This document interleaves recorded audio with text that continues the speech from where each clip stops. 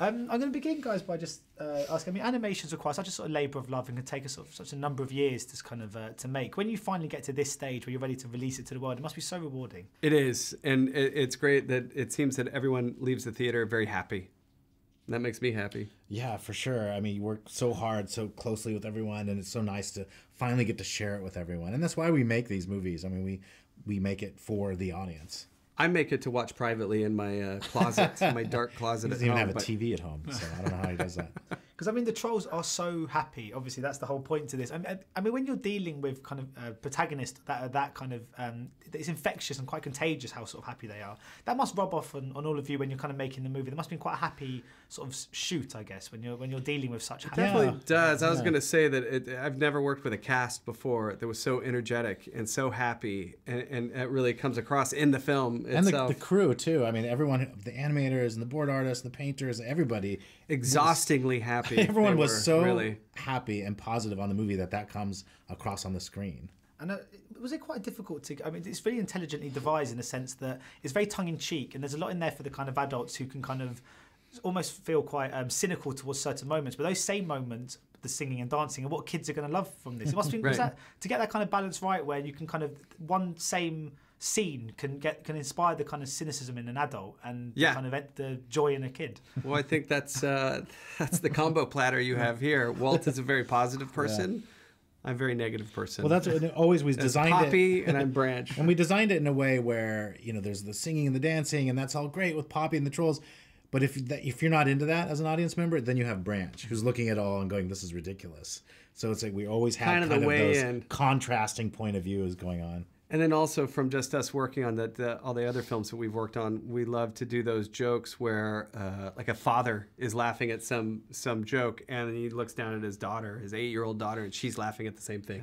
But it's something that's For different re- reasons, maybe we say we don't know. yeah. But I mean, so it's essential, I guess, that we do adopt the kind of cynical perspective of, of, of Branch then in this movie.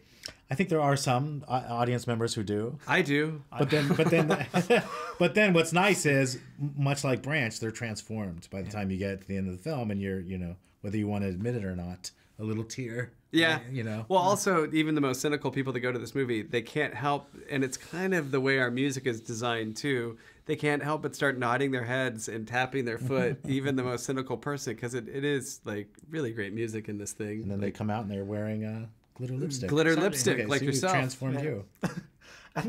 And I mean, Justin had to write a song, obviously, which really captures the tone of this movie, and he did that remarkably. I mean, that song is so yeah. uplifting, and, and it's kind of, and it's also just a great pop song at the Yeah. same time. You must, when you first kind of heard that, you must have just been like, yes, that's. It, we that's did really- instantly, and it, it was very strange because it was a long time ago that he made this for the film. That he made the Mm-hmm. song for the film, and I think he said, "Yeah, and I'll just make it a hit song as well." And I laughed. I was like, "Yeah, why don't you do that?" And lo and behold, It's everywhere now. it's everywhere now. It's very strange.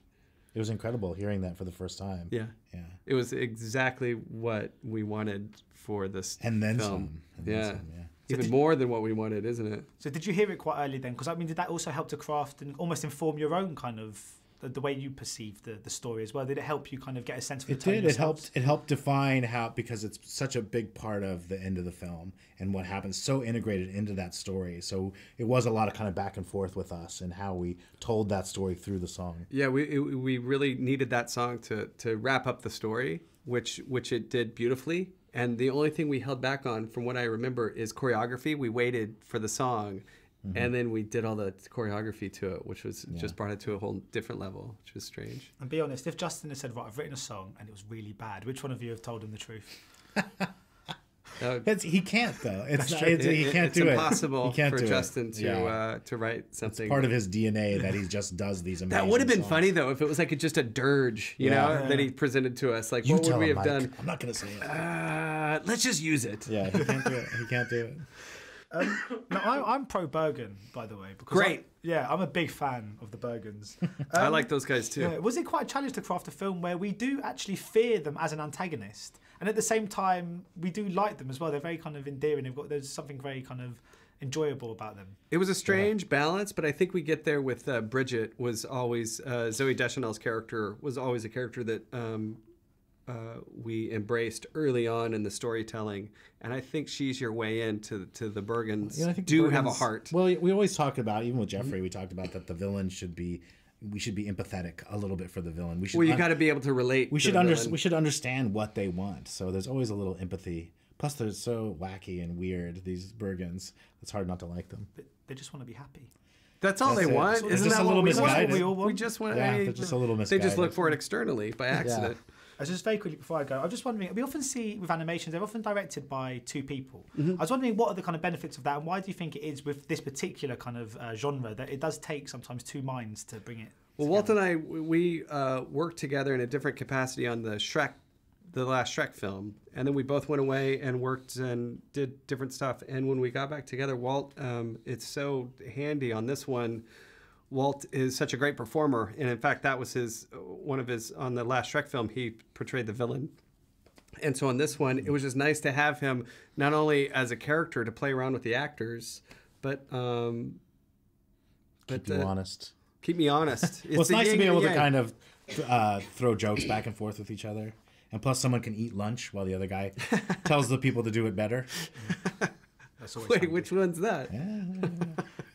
Thank you so much for your time. I'll let you argue about that. Thanks. Thank you. Nice to meet you. Arguing. Ladies and gentlemen, you're watching Hey You Guys!